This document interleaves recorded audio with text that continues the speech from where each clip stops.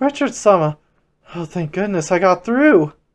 Well, where are you right now? Could you come straight back to the church? There's an urgent situation. Huh? I just finished my business at the Energy Association. What happened? Why are you so flustered?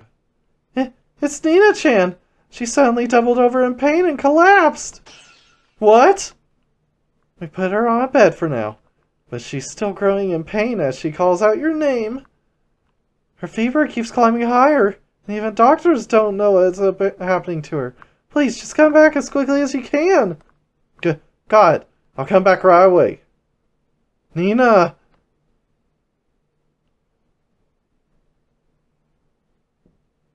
Nina! Father, welcome home. N Nina? Um, are you... Are you okay? She... She seems to be okay now. It's as if that high fever and pain never happened. Her fever really does seem to have gone down. It doesn't look like she's just putting on a brave face. What on earth happened? Sorry for worrying you. Even I don't know what happened. But I'm okay, all okay now. I'm kind of happy. You came in here looking so pale with worry for me, Father. You've been so busy with work since coming back. I was starting to wonder whether you've forgotten about me. Uh, uh, I see. Whatever it, was, I'm just glad you're okay. I had no idea what was happening when Kana-san contacted me. Michiru-sama, could I have a moment over here? Your fever might have gone down, but this could have been a sign of something to come, so I want you to rest for today. I'll have one of the church staff on standby outside your room just in case. Don't hesitate to call out if something happens. Okay, Father. Yeah, that's where the translation seems to be a little off because uh, she supposedly only calls uh, Richard father, which is why I think she should be calling Richard daddy and not father.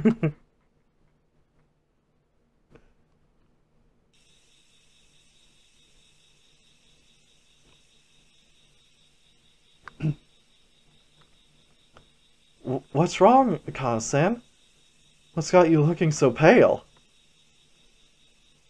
The thing is, Mia was complaining of back pain when she had her high fever. So Akiyama-sama and I rushed to take a look and check. Couldn't keep her back exposed like that forever, so I took a photo. Michiru-sama, please take a look at it. What, what is this? You should know what it is. It is the exact same one that's on the back of your hand. Meaning, this is how Nina turns into a demon.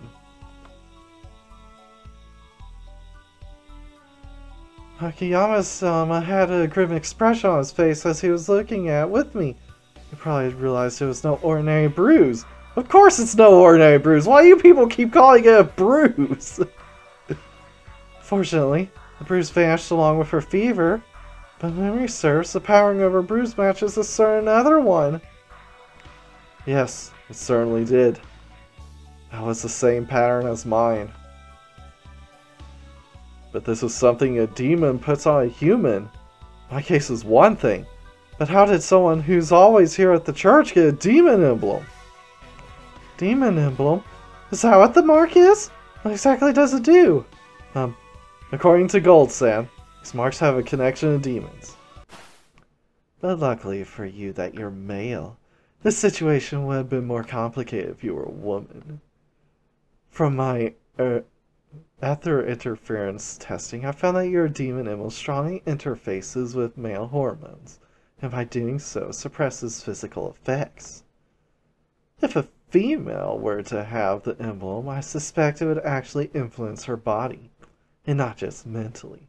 I believe the demon essence would have physical effects, uh, um, such as a female with the emblem would be strongly affected by it and slowly turn into a demon It wouldn't matter whether or not you were originally human. Ah! Nina's gonna turn into a demon! Which, really, if as long as she doesn't lose her sanity, I mean, it shouldn't be an issue.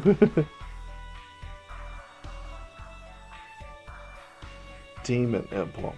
A curse, as it were. It's not something that inscribed on human for a mere day or so. And especially not a child like Nina.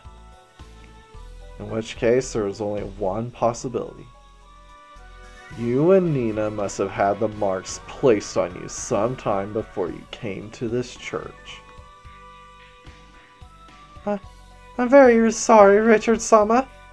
I was so shocked when I saw a mark on her that I had to explain everything to him. As you rightly should. You hid the fact that you were being haunted, and also the fact that you're that you absorbed a demon with that demon emblem. There are so many things I'd like to ask, but we only have so much time. I'd like you to tell me everything you found out at the Energy Association, as well as all the details about that demon emblem you have. Uh, understood.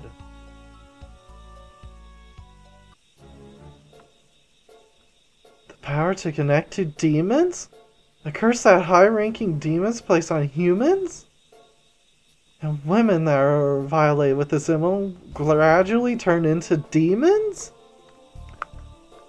And the only way to lift that, the curse, is to find the demon responsible and either defeat them or get them to directly lift it themselves. All this means you're fine, but Nina's situation is going to be a race against time. Things are going to get really bad for her if we can't deal with it quickly. But Richard Sama lost his memories from before he came to our church. We don't have any clues as to which demons we're supposed to be looking for.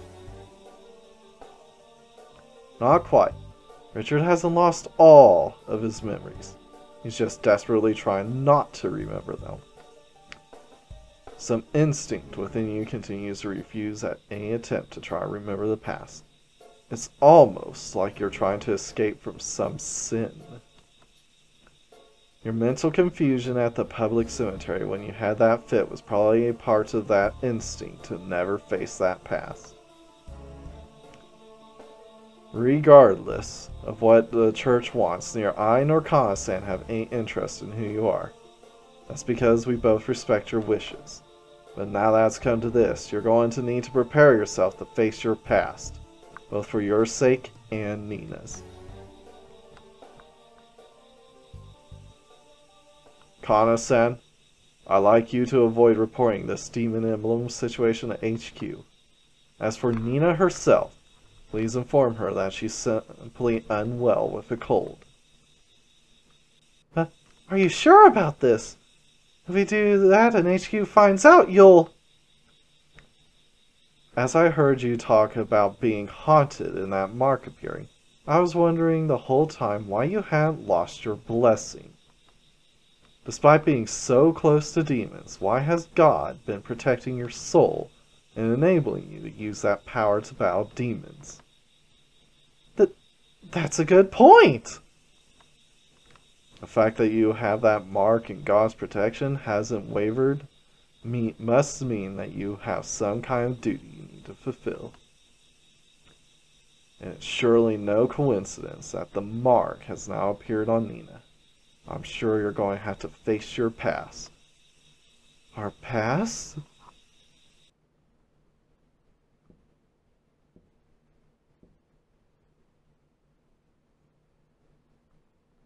Richard, whatever you might think of her, you're the only person who Nina's ever opened her heart to. Maybe to you Nina's just some girl, a stranger, you don't see any value in facing the past with. Or maybe she's a demon, marked with a demon emblem that you should drive away as a priest. That'd be kind of hypocritical of him if he did that. Either way, isn't it about time you decide what kind of place she holds in your heart, Richard? It's obvious who Nina is to me. To me, she's my daughter, and as such, I should protect her.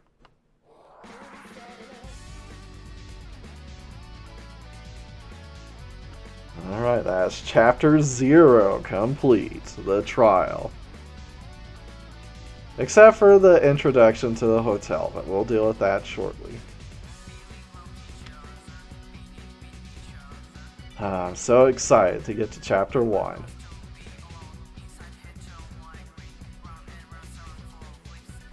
I'm just curious to see it. Since we know that th since this is a prequel, the Nina would turn into a demon, but then again, Shrift does have made multiple parallel worlds, so she doesn't necessarily have to turn into a demon. Question is, which version is considered the good ending?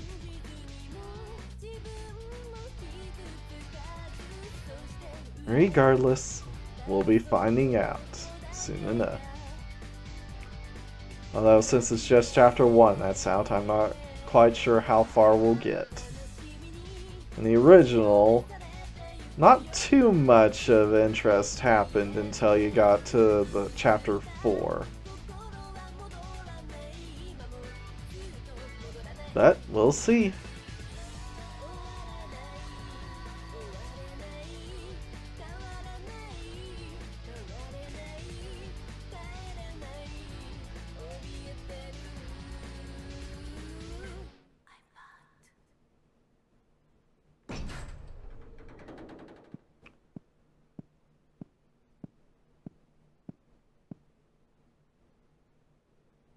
The Guardian has gotten in touch. It seems his demon emblem has appeared. And that one he took with him, I believe they called her Nina. The marks appeared on her, too. What on earth are you thinking?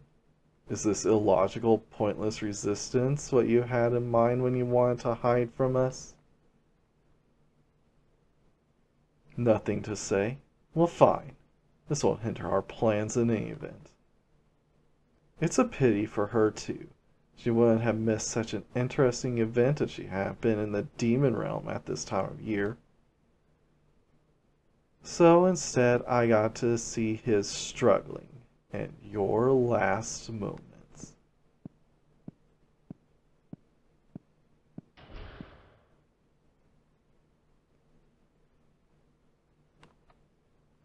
Richard, Nina,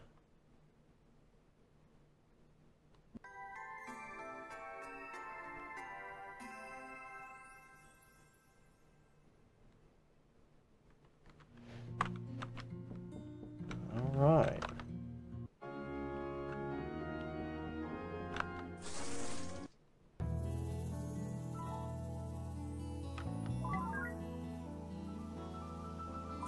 Alright, we have to check out the next quest.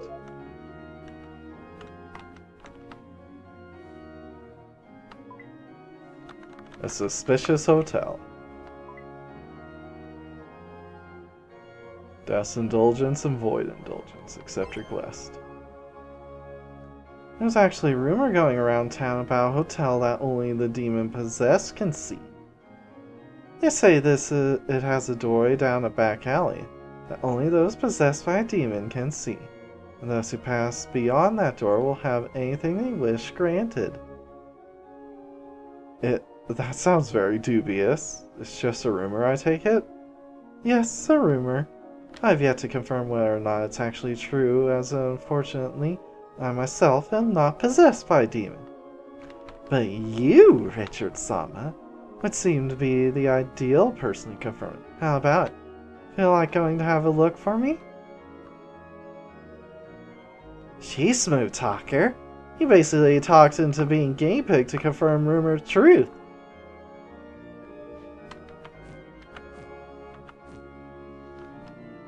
Alright. What do you have to say? Nothing?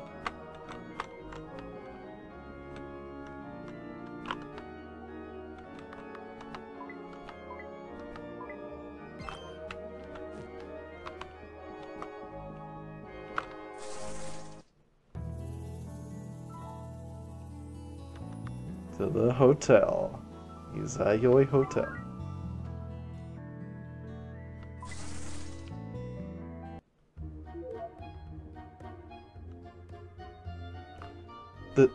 This is the hotel mentioned in the rumor? Certainly doesn't seem like there are any other people around. This place have weird atmosphere, and not like dream or reality. Maybe it's uh, like some holy world? The weirdest thing of all is that you were able to physically enter this space. Hey, something's sitting in seat behind counter.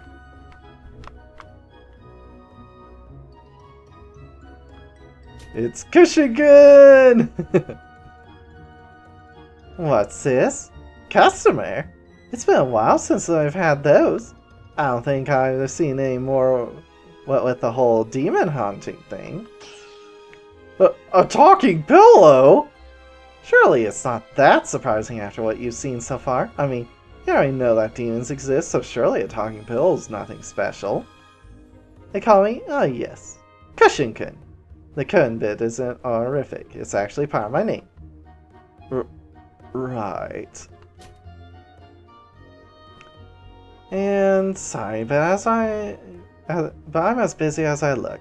I got all this work I'm not used to piling up. It really never ends. If it's a hotel guide you need, I'll have to make do with one of the workers. Hey, we've got guests! Don't just stand there, take them inside!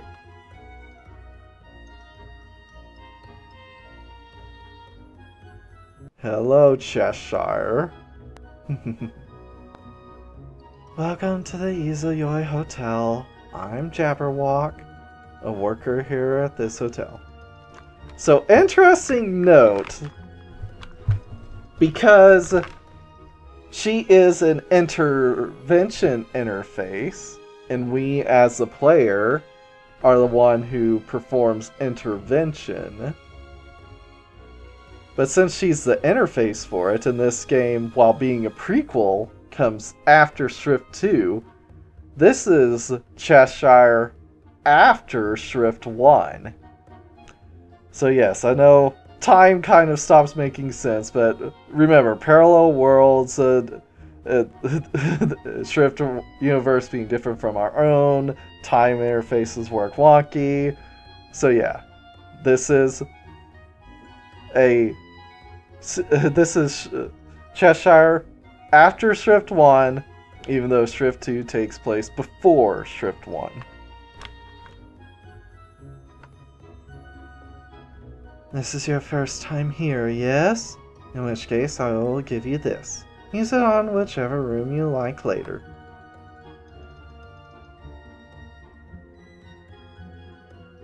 Wh whatever room I like?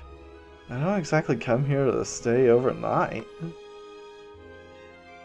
You're not the one staying here. This hotel is a place for the demons you may have bond with to stay at and wait for you. This Izayoi Hotel is made so you could go in the room of a demon you like and do lewd stuff, or whatever to deepen your friendship with them. But, but, wouldn't doing that sort of thing make me lose my soul? This is that kind of hotel. Faith, levels, and such don't mean a thing here, do you understand? Just explaining is boring. So how about you come upstairs, and I'll explain while you see it with your own two eyes.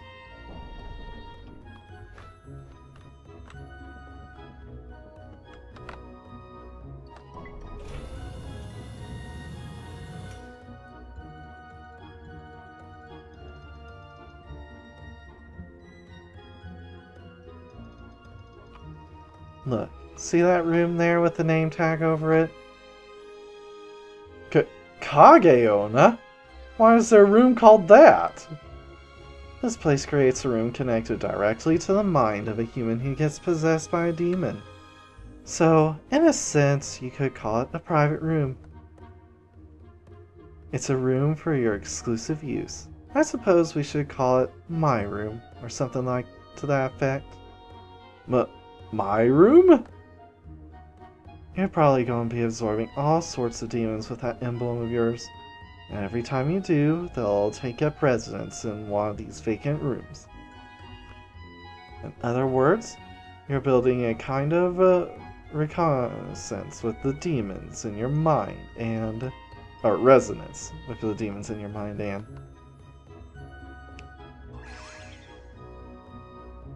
Yami.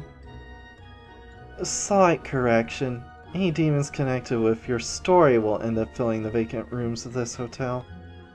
To put it another way, this is not reality. So your faith, your levels, and everything else have no fun fundamental relevance here. But, if you so wish, you can lift some of the restrictions here. Just go with what you feel is best. If you want more details, you can go ask the sheep in front of the elevator. He's been around a lot longer than me. In that sense, you should say you could say he's far more of a proper hotel worker than I am. But that's his role, so it can't really be helped. You just relax and take it easy from here. Oh, as for those indulgences you're getting, think carefully about whether you use them. I got Death's Indulgence and Void's Indulgence.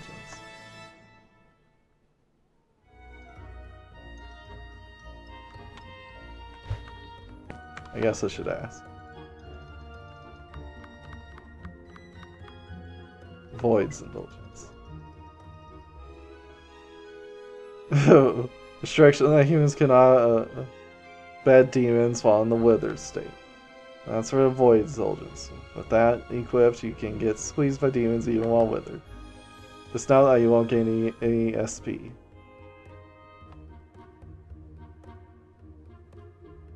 Voids nothing if you have it equipped when you're not withered. Okay. And then Death's Indulgence. Won't result in loss of your soul. However, if you have Death's Indulgence, you get a levels drained from you just like in outside world. Naturally, if your levels reach zero, it's game over. Or rather, you'll get an ending, I guess. Either way, you'll wind up being joined with a demon for the rest of your life. Yeah, though it's true having your levels drained will let you gain SP at explosive rate, be sure to exercise a lot of caution when using it. Alright. So we got Cait Sith, Yami, Kage. I don't think you can actually do any more story-related stuff with them right now. Not in the trial. Talk, that's fine. What should we talk about? Oh, I just don't have enough trust built up with her.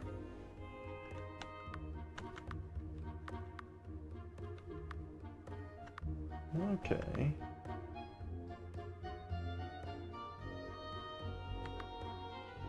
Well, regardless, I'll need to build up some trust with my demons. And then try talking to them again. Like I said, everything in this, your affection and your level should carry over. So it should be fine to grind this out here. But, since I got some grinding to do, I think that will do it for now.